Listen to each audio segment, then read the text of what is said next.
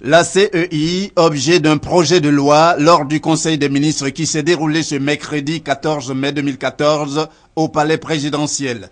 Projet de loi modifiant la composition de la commission électorale indépendante. De 13, le nombre des membres de cette commission passe à 17. C'est le ministre d'État, ministre de l'Intérieur et de la Sécurité, Ahmed Bakayoko, qui en a fait l'annonce à l'occasion du point presse à l'issue de ce conseil. Nous avons, sur instruction du président de la République, rencontré l'ensemble des formations politiques de l'opposition. Et nous avons enregistré des propositions des partis de l'opposition. Nous avons fait un compte rendu au président. Le président nous a demandé donc de faire une nouvelle proposition au gouvernement. Il a sollicité par le biais du secrétaire général du gouvernement un report de la présentation du texte au Parlement, ce que le Parlement a accepté. Et ce texte sera présenté donc le lundi 19 mai 2014 au Parlement.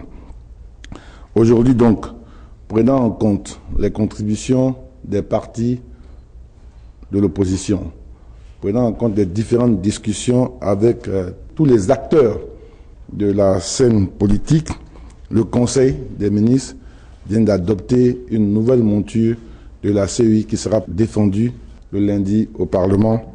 Nous avions proposé une CEI de 13 membres. Aujourd'hui, le Conseil a délibéré et adopté une CEI de 17 membres, marquée par le principe donc de, des quatre quarts. Il y a quatre représentants de l'administration, quatre représentants de la société civile, quatre représentants des partis ou groupements politiques au pouvoir et quatre représentants des groupements ou partis politiques de l'opposition et un représentant du président de la République.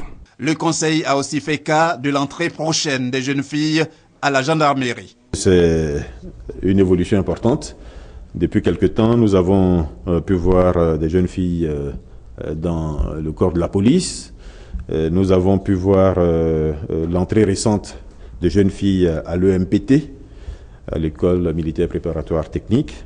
Et donc, le Conseil a adopté cette communication. À partir de la rentrée scolaire 2015-2016, donc la gendarmerie nationale enregistrera l'arrivée des premières filles. Pour le porte-parole du gouvernement, l'entrée des jeunes filles à la gendarmerie répond à la volonté du chef de l'État de faire de la promotion du genre une des priorités de son programme de développement de la Côte d'Ivoire.